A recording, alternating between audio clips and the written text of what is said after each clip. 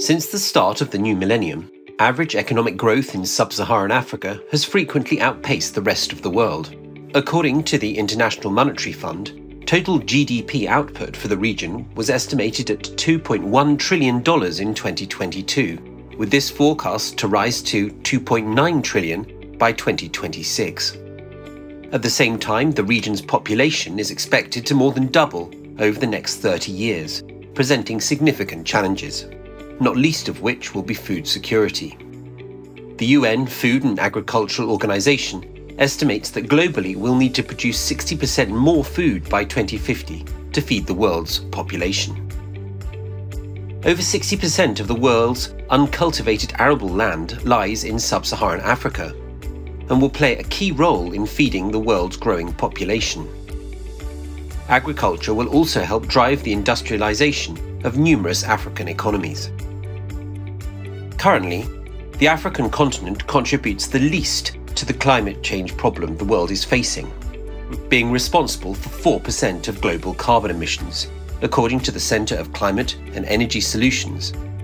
In most sub Saharan African countries, the agriculture and forestry industries are the primary sources of carbon emissions.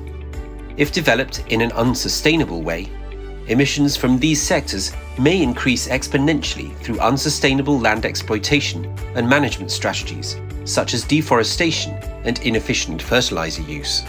Ensuring the continent's transition to a green economic model is therefore of vital importance. A green economy is one that is low carbon, resource efficient, and socially inclusive.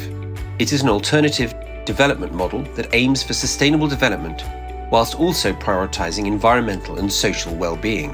Resource efficiency and maximisation through the creation of a circular economy are central to this model. OCP Africa, part of the OCP Group, helps to promote resilient farming techniques on the African continent through research into tailored fertilizer products. In Nigeria, OCP Africa has been involved in research on the development of fertilizers that are adapted to local farmers' needs and increase crop yields. Other programs include the Women in Agri Booster Initiative.